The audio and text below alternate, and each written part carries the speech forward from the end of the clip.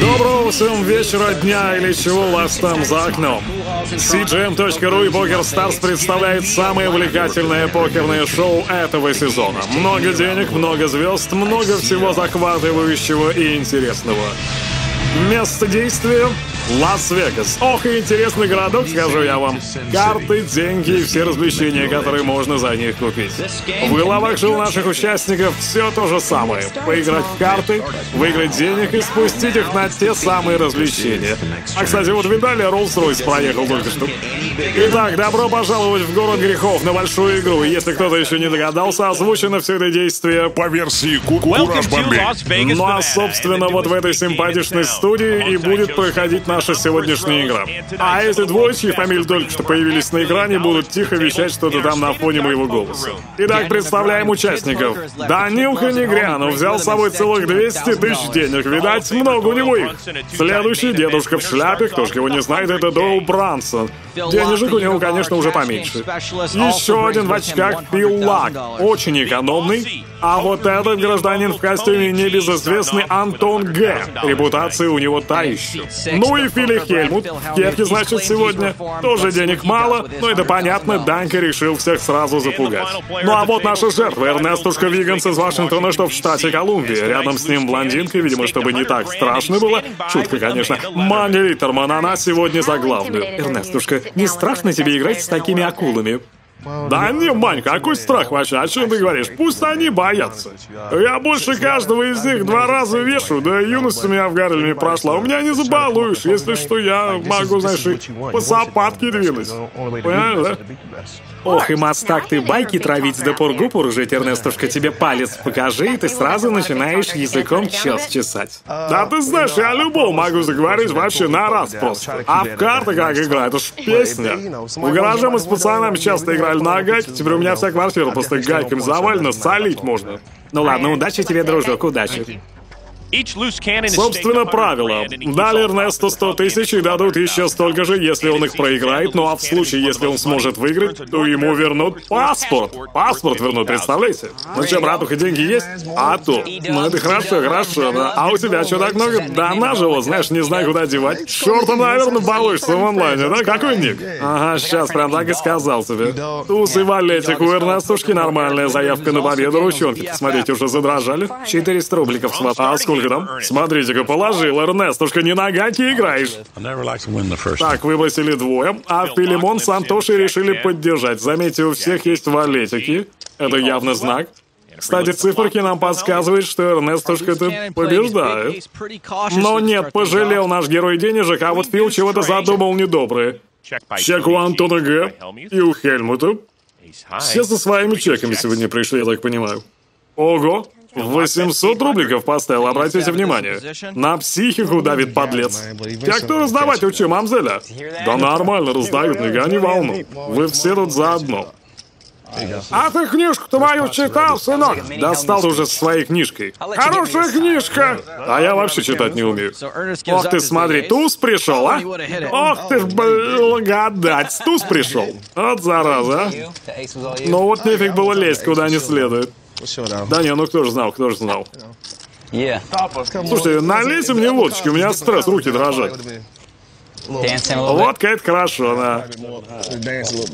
Книжку надо мою читать. Вполне мудрый совет от пенсионера книголюба. А тем временем закончилась первая раздачка, в которой коварство и обман опять взяли верх над силами добра. Смотрите, учитесь. Пять минут, немножко хитрости, и Филимон стал богаче, причем даже читать не умеет по его собственным словам. Хотя, с другой стороны, если рассуждать логически, откуда бы у него тогда появились очки? PlayStation, что ли, переиграл очкастый? Возвращаемся за стол, Эрнестушка допивает водочку, стаканчик-то ему налили, добрый, я смотрю. Так, пацаны, давайте быстренько на обедность деньжат подкиньте мне. Да не гони, гони, Эрнестушка, сейчас все будет.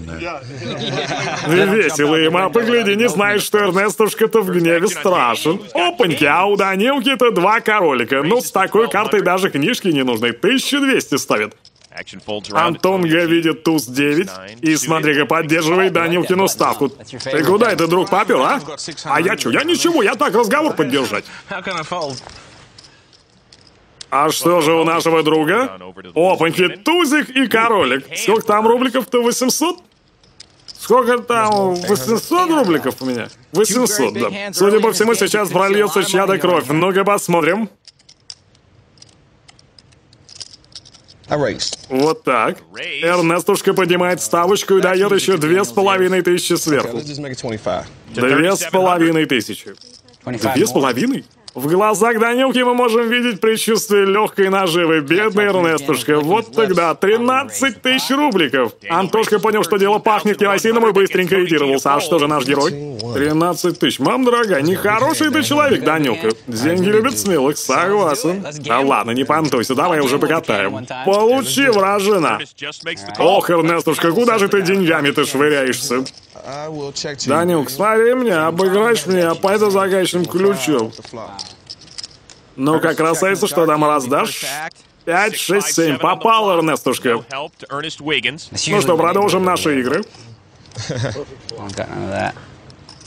Эх, жалко мне этого простого черного парня. 18 тысяч ставит Данилка, и это серьезная заявка на победу.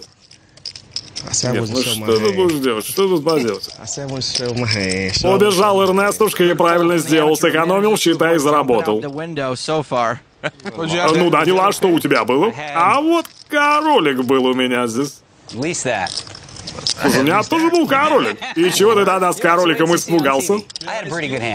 Ну, с короликом? Че ты пристал, отвали. Да два королька там было, гадалки не ходи. Короче, Даня, если я узнаю, что у тебя, у нехорошего человека были такие же карты, как у меня, в общем, ты понял, я тебя найду и рассчитаюсь, как в Сбербанке. Ты водочки попей и расслабься, мужчина. Это можно, да, это можно. Так что, туз король был? Два короля, зуб даю.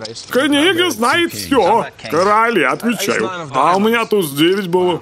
Ну, круто, чё? Итак, сейчас мы узнаем, кто же прав, книга или Антон Гэп.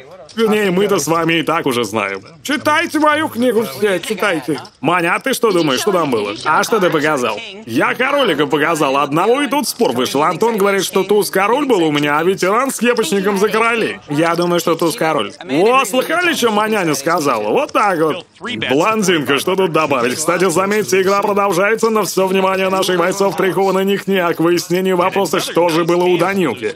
И, судя по всему, ребята готовы поставить денег, чтобы подтвердить изложить свою точку зрения. Чем же закончится этот принципиальный спор, чья правда окажется правдивее, а интуиция интуитивней? Кто победит, молодость или опыт, блондинка или шляпа? И дак или рубашка? И в конце концов, принесет ли это кому-нибудь денег? Безусловно, это гораздо интереснее, чем очередная раздача, которая происходит за столом.